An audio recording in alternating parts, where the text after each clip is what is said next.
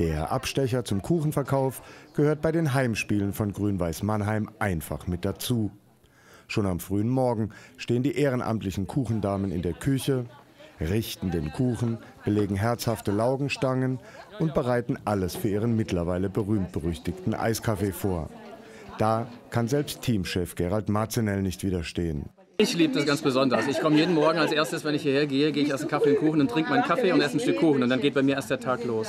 Ja, weil es einfach nett ist. Das ist herzlich. Wir kennen uns mittlerweile alle so gut. Das ist so, das sind ja, ich glaube, ich bin für die Damen fast so, naja, Ziehsohn. Vor 30 Jahren ging es los. Damals war alles noch etwas anders. Wir haben damals angefangen mit einer Holzbude sozusagen, so wie äh, eine Bude vorstellbar ist auf der Messe sozusagen.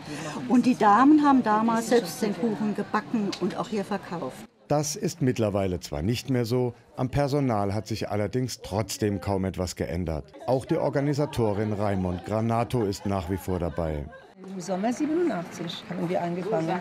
Und äh, die haben alles mitgemacht mit Regen und Kälte. Manchmal ging es sogar bis 21 Uhr. Das kommt heute zum Glück nicht mehr vor. Bedenkt man, wie früh der Tag für die Damen beginnt, ist das auch gut so. Kommen um acht oder viertel vor acht, dann ist das wunderbar, wenn die Anlage so langsam aufwacht. Überall ist da ein da ein und das macht einfach viel Spaß. Und dann kommt trudeln langsam die anderen Damen ein und dann geht es richtig zur Sache. Dann läuft die Maschine auf Hochtouren.